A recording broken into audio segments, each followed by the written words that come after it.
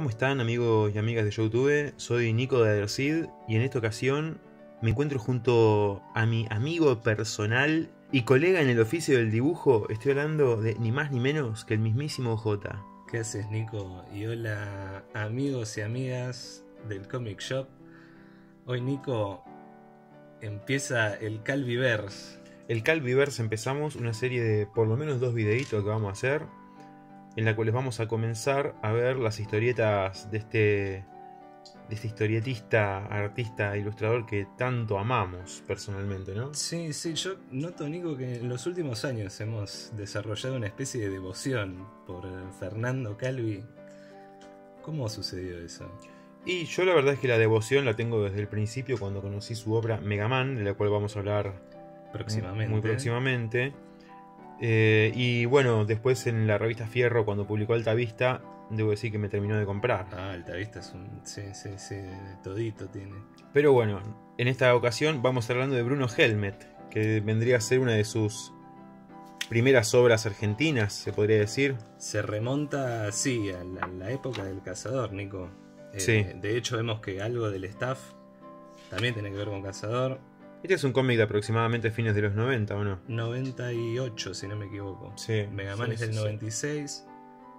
Y era, era así como esa suerte de. No, no quiero decir universo Marvel, porque no tiene nada que ver, pero había, había como algo de eso en, en lo que era el cazador, ¿no? Sí. Y las historias que salían. Y Calvi además es un amante de los superhéroes.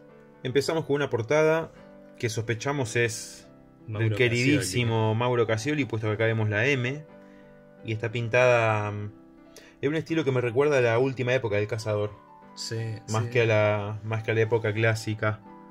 Es justamente el 98. A mí me sorprende, Nico, como estos detallecitos. La textura del papel. La textura, sí, sí, del papel y, acá se ve, por ejemplo, que el, el- el distinto tipo de tratamiento de algunas partes del dibujo, como este que ves que es transparente, Sí, puede haber sido con acrílico también, pero un acrílico muy aguado o acuarelas.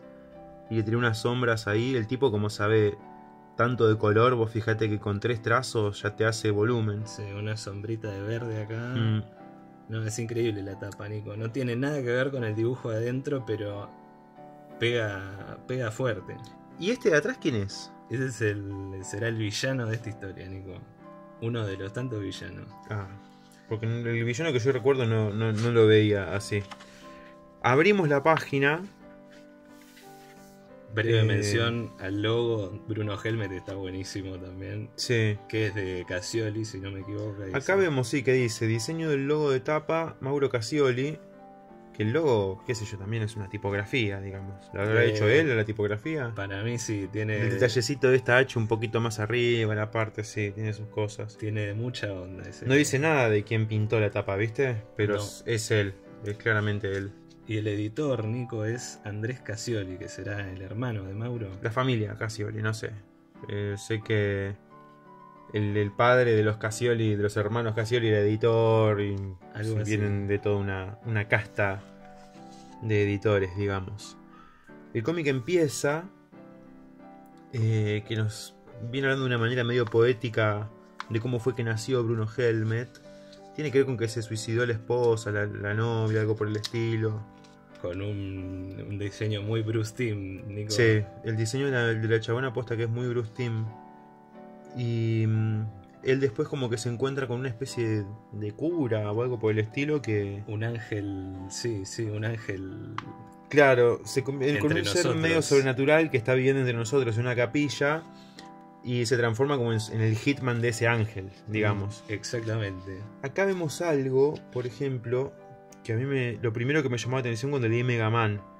Eh, este tipo de diseños, vos fíjate los fondos, los dibujos con el, trazo muy grueso. Sí, A mí lo primero que me vino a la mente fue el laboratorio de Dexter.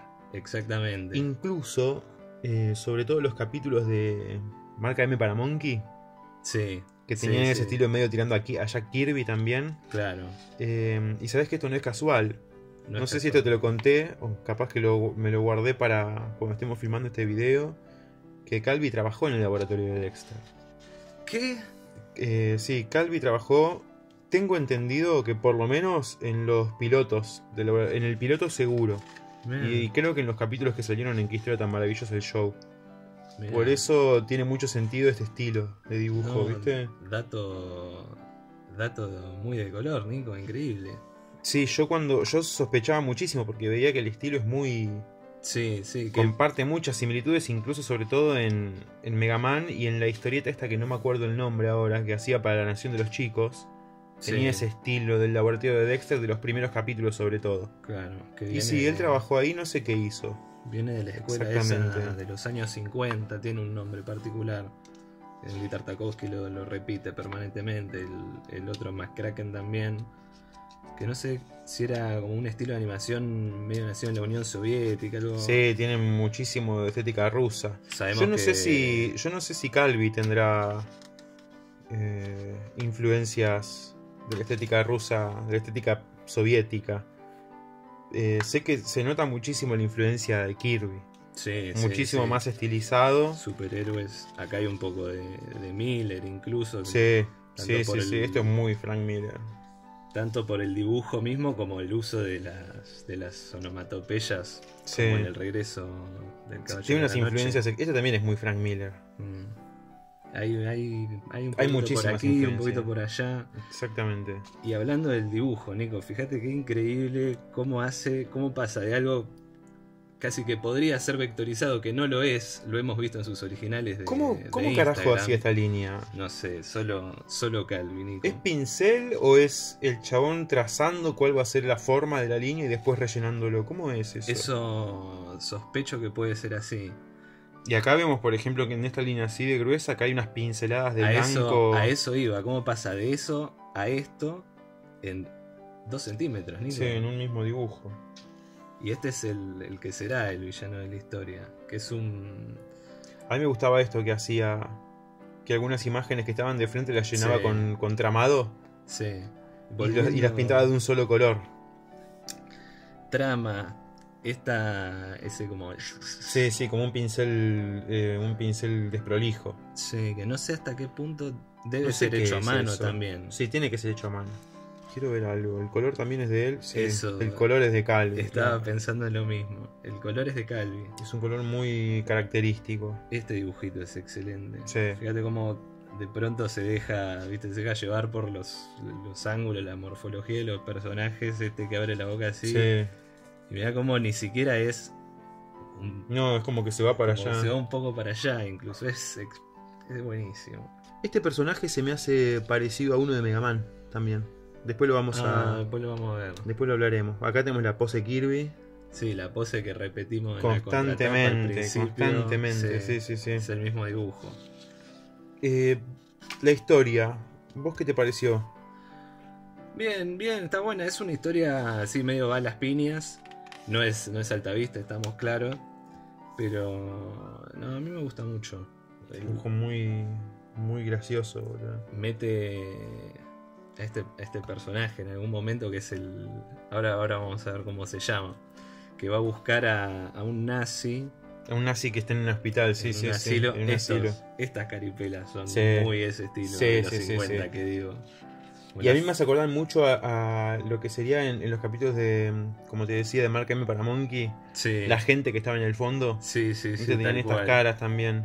Y Algo que tiene Calvi que me gusta mucho, sobre todo en esta época, es que hay un humor en Sí. el chabón que tiene que ver con las caritas que dibujaba. Y además, mira, por ejemplo, el que el tipo mientras habla dice, si pudiera volver a ser como fui, Sniff haría cualquier cosa como que está triste. sí. Eso en Mega Man lo explota y me causa mucha gracia, como que me influyó muchísimo a mí en mi sentido del humor. Es tremendo el, el- el humor de Calvi. Muy sutil por momentos. Y además Sí. fíjate que la carita la repite siempre con ese tipo. Ese tipo es esa carita. Este está. me encanta. Acá aparece el demonio cuyo nombre. Y esto es otra, otra parte que yo creo que, Sí. que Calvi lo hace con humor. Que es la exageración de la Svastics. Llama. Exploitation es eso. Sí. Exploitation, sí, sí. Es ridículo, es un poquito grasún, pero está excelente. El Mega Man lo explota también. Sí, sí, sí. por todos lados.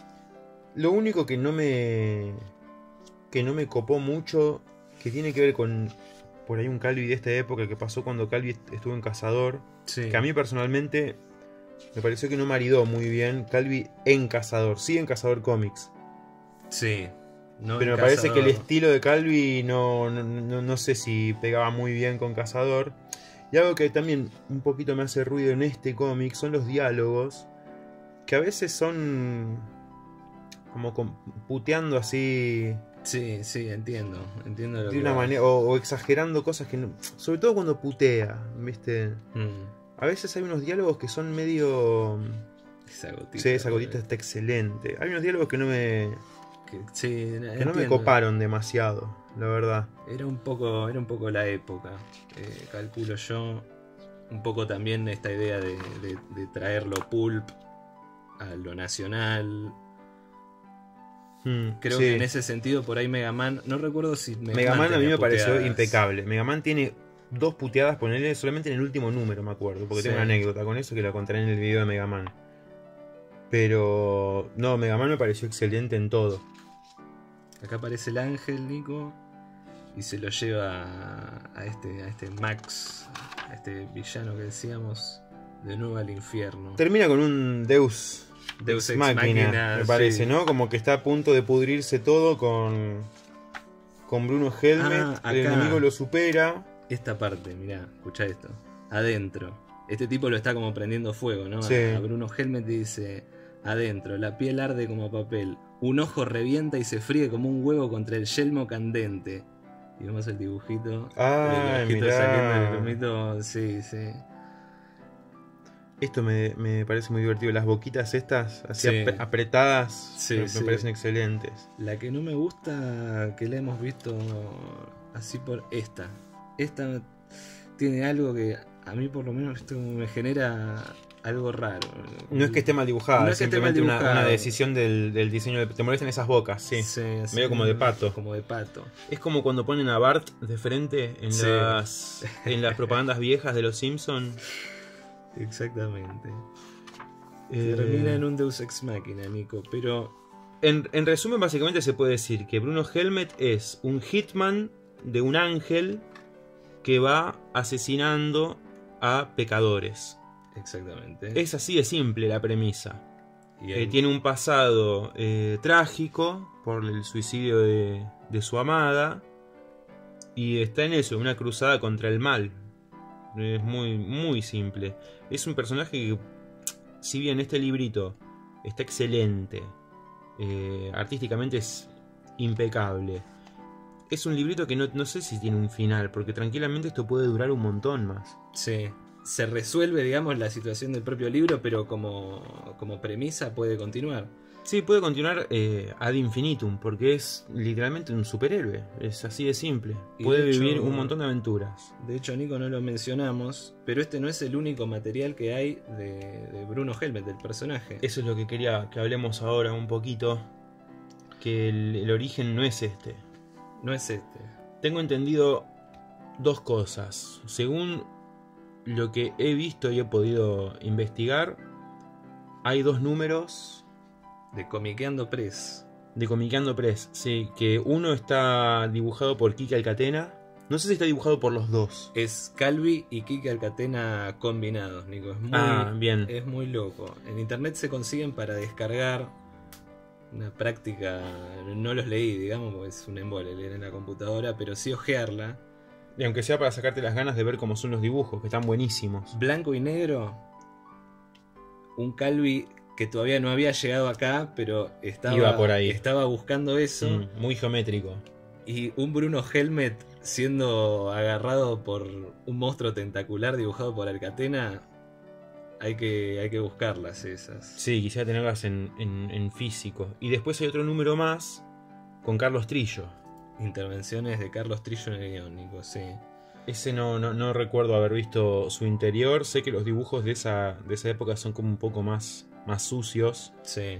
Eh, no es decir desprolijo porque desprolijos no son, es intencional ese aspecto. Pero también decían, no sé si es que se referían a la editorial de Comiqueando o a la revista Comiqueando, porque decía que se publicaba en la Comiqueando. Sí, no, en la No editorial. entiendo. Comiqueando Press. Claro. Comiqueando Press. Y están buenísimos. números. Están buenísimos, habría que conseguirlos de alguna manera. Habría que conseguirlo. Yo nunca los vi en, en ningún lado. Si los conseguimos, los vamos a mostrar. Sí, sí. Y bueno, mucho más no se puede decir. Es un cómic que la verdad te deja un poquito con ganas de más. Balas Piña y en 48 páginas. Y vale muchísimo la pena tenerlo. Es. Vale muchísimo la pena porque tiene un arte impresionante. Las palabras que Carlos Trillo tenía para decir sobre, sobre Bruno Helmet. De repente, cuando todo parecía perdido para el cómic nacional, cuando los lectores se alejaban de las viejas fórmulas que se resistían a renovarse, aunque estabanse cayendo a pedazos, apareció un grupo de autores cuyas obras señalaban un nuevo camino. Claramente habla también de los del cazador. Exactamente, sí. Y además, tal vez de toda esta movida que venimos viendo de cómics de finales de los 90, ¿no? Sí, Que sí. hay mucho, prometía mucho y lamentablemente no, no explotó tanto como podría haber explotado, me parece. Creo que eso es simplemente por la pobreza de nuestro país. Tuvieron. Tuvieron Mm. su momento. Y detrás de la fulgurante revelación de Cazador llegó Calvi. Como decíamos, que Calvi trabajó en Cazador. Apropiándose de los superhéroes de inspiración norteamericana y convirtiéndolos en personajes que cuentan pedazos de nuestra realidad. Como este sorprendente Bruno Helmet que se aproxima con códigos de la narrativa de terror y de una manera que araña la metáfora a uno de los personajes más siniestros de la historia argentina reciente, convertido aquí en el almirante de una armada infernal. Y entonces los invulnerables, los tipos que vuelan, los muertos vivos, los aliens, los robots, las criaturas virtuales tan ajenos para nosotros hasta hace un rato, empieza- empiezan por fin a hablar en argentino. No es poco, ¿no? Era una nueva generación. Era. Sí. Era una nueva generación. Nosotros queríamos leer esto. Si vos me ponías a mí el Tony adelante Sí, y me ponías estos dibujos, yo iba a agarrar esto. Así Habla- que tiene mucho que ver con eso. Pero qué bueno, no puedo parar de, de elogiar el color. El trabajo de color de la historieta. Es impresionante. bueno, esta página es muy buena. Sí, sí, Muy sí. lindo, rojo. Viste que es. Amarillos. El amarillo y violeta del demonio ese es. Tal cual ese personaje de DC volviendo a, a estas influencias. Esta página me encanta. ¿Cómo sabe de color Calvi, eh? Eh, ¿Cómo sabe de color este tipo? Estamos abriendo el libro de nuevo. Estamos hablando del libro de nuevo, sí. Pero bueno, siendo que no hay mucho más para decir, excepto simplemente releer y reanalizar la historieta una y otra vez. Porque creo que con cada lectura, uno como artista eh, aprende siempre algo nuevo. Hay mucha información acá, es un material hiper valioso en ese sentido, la verdad. Bruno Helmet, Nico. Bruno Helmet de Fernando Calvi. Si les gustan los videos que estamos haciendo, los vamos a invitar a que se suscriban, que dejen sus comentarios sobre esta historieta, sobre el autor, información que tengan, que la verdad es excelente ver cómo, cómo en los comentarios aportan información nueva que nosotros por ahí no poseemos y hacen que entendamos más sobre esta historia, sobre la historia de esta época de la historia argentina, que nos sigan en el Instagram para enterarse de cuando hay videos nuevos. Y que si nos quieren hacer el aguante, que compartan el video y el canal con sus amigos y amigas entusiastas de la historieta. Eso fue Bruno Helmet y espero que les haya gustado. ¡Chau!